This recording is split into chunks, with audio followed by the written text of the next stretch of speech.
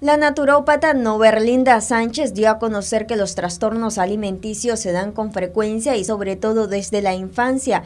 Eso queda demostrado con el consumo de algunos productos como bebidas azucaradas, entre otros. Tenemos que ir creando las condiciones, de, sobre todo de los niños, educarlos hacia una alimentación más saludable, ¿verdad? Hemos dicho de que la comida chatarra nos referimos a esos taqueritos, centavitos, churritos, ¿verdad? Que nuestros niños pues, en la escuela, en su merienda escolar, la llevan, las consumen. Y esto es un asunto de conciencia, decirle al niño que puede comer frutas, ahorita hay mandarinas, hay mangos, papaya, podemos hacer sus meriendas para llevar al colegio e ir creando ese buen hábito, ¿verdad?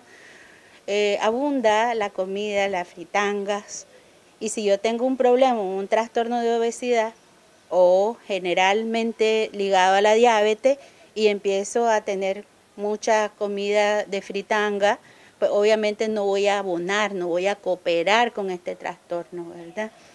O las bebidas gaseosas o los refrescos demasiadamente azucarados. Los trastornos eh, de la obesidad están ligados a ese, ese alto consumo de y regularlo implica eh, ir trabajando lo que es la ansiedad.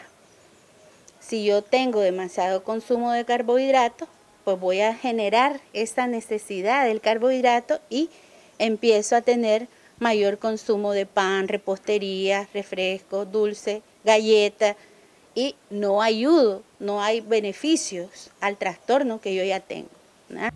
Sánchez también da a conocer algunos signos cuando están pasando de un trastorno alimenticio. Control de peso, ¿verdad? Eh, no necesariamente tenemos que estarnos cada día, cada día, o cuando me despierto tal vez baje 20, 20, 20 onzas. no, no, no, sería demasiado. Pero por lo menos de una a dos veces al mes y con cierta actividad y regulando, balanceando el consumo de los alimentos, voy a ir viendo cómo mi cuerpo empieza a tener cambios. ¿Verdad? Los dolores de cabeza ligados a esto, ¿verdad? Noticias 12, Darlene Tellez.